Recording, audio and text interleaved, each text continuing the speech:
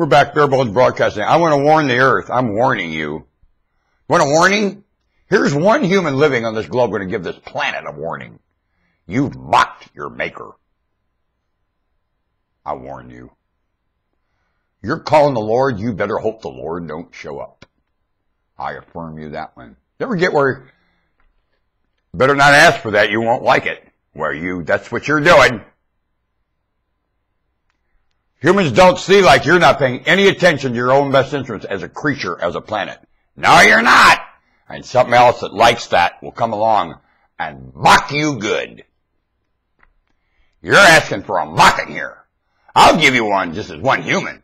Only you ask for something superior to show up when you don't like each other? Are you cuckoo? You're feeling what you are.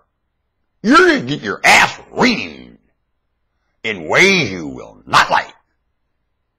You've insulted your maker. Ho, ho, ho. With everything coming out your mouth and everything floating around in your head too. That's the worst part.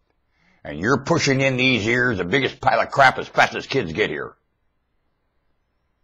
You're even using children for labor, but big time. And without child labor, you got no labor.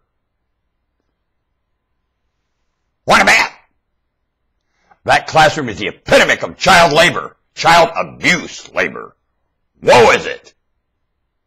No one gonna tell you that? I'll tell you that. Let me read you something. Don't go away. if You keep going. Upload. You're still fucking with me, but good this morning, you son of a bitch. There. Lord's an idiot, and I'm suffering.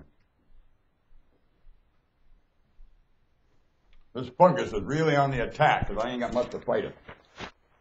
Fungus is gnarly. Come here, come here. Howl, howl. Well, I'm going to have to come back. I'll tell you, my body is a joke this morning. I'll be back.